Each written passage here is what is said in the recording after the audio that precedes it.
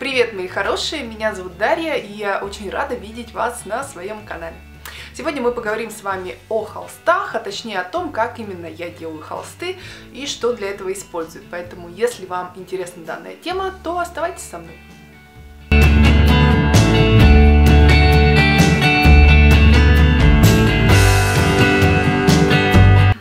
Итак, чтобы сделать вот такой вот холстик, нам потребуется изначально взять все самое необходимое. Первым делом нам, конечно же, понадобится подрамник.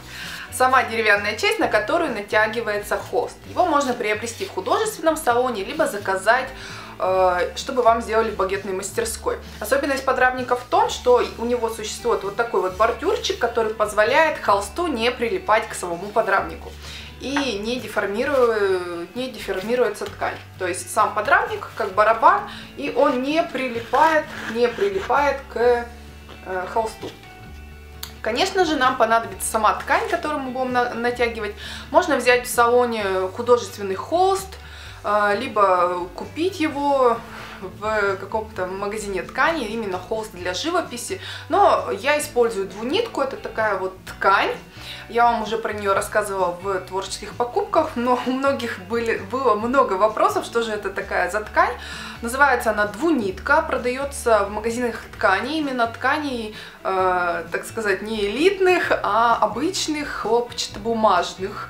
Э, наверное, как-то так. То есть в обычном салоне ткани вы такую ткань, конечно же, не найдете. А э, в тех салонах, где продается ткань для рабочей одежды, э, то именно там данная ткань и обитает. Далее нам понадобится степлер, которым мы будем натягивать саму ткань. И еще пригодится желатин, чтобы э, холст проклеить, и грунт, чтобы холст прогрунтовать. Это все нужные материалы для создания холста самостоятельно своими ручками. Для начала нужно приготовить желатин. На одну столовую ложку желатина требуется стакан горячей воды. Все это тщательно размешиваем и ставим в холодильник.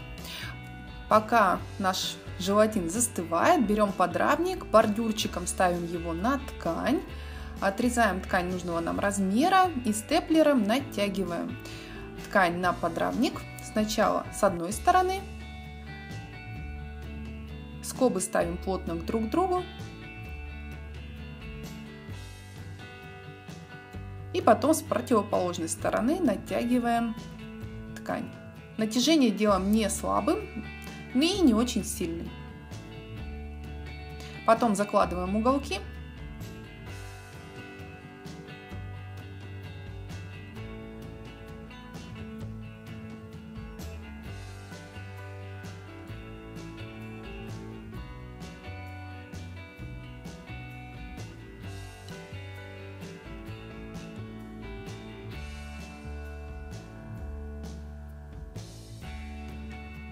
И натягиваем с оставшихся сторон.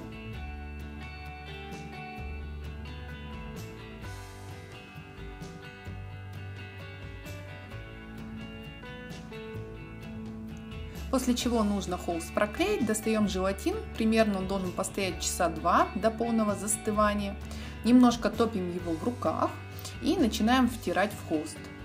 Полностью холст таким образом проклеиваем желатином также обязательно проклеиваем и торцы, то есть не только лицевую часть, но и боковые. Торцы тоже проклеиваем. Потом шпателем, либо какой-то старой кредитной картой, либо мастихином, как в моем случае, убираем лишний желатин, чтобы слой был очень тоненький. Э, и даем холсту высохнуть. Так наносим желатин 2-3 раза, в зависимости от размера холста. То есть нужно проклеить хорошо, одного раза недостаточно. Далее, после полного высыхания, нужно покрыть его акриловым грунтом. Он должен быть плотным, как барабан. Акриловый грунт я развожу в отдельном контейнере немножко водичкой, так как вы видите, он достаточно густой, и наносить такой густой грунт неудобно, так как тоже грунт надо наносить несколькими слоями. Я добавляю в него немного воды и большой строительной кистью все это размешиваю. Консистенция должна быть как у жидкой сметаны.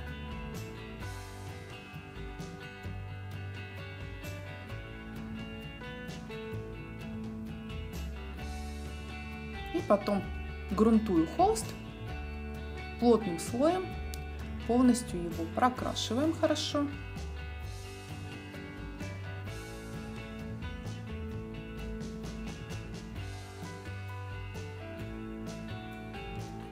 Обязательно смотрите, чтобы не было никаких волосков от кисточки, от домашних животных, если они есть. И опять же обязательно прогрунтовываем и торцы. Проклеенные грунтованные торцы – признак хорошего качественного холста. Грунтуем холст также на 2-3 раза, обязательно каждый слой просушивая, и холст готов к работе. И в итоге вот такой вот у нас холст получается. Можно делать, конечно же, любой размер э, и в любом количестве. Я делаю сразу много холстов за один раз и в течение месяца их так сказать, трачу, а потом э, натягиваю снова и снова себе большое количество холстов. Делаю я это часто, и этот способ мне очень нравится, и пока ни один холст, сделанный таким образом, меня не подвел. Если вам данное видео было полезным, интересным, то обязательно поставьте лайк, э, расскажите о нем друзьям. Я очень рада, если я кому-то помогла данным видео в создании холстов, так как холсты в магазине стоят достаточно дорого, а данный способ является очень бюджетным за счет того, что за место холста используется двунитка, так как эта ткань не такая дорогая, как художественный холст, и, возможно, я помогла вам сэкономить.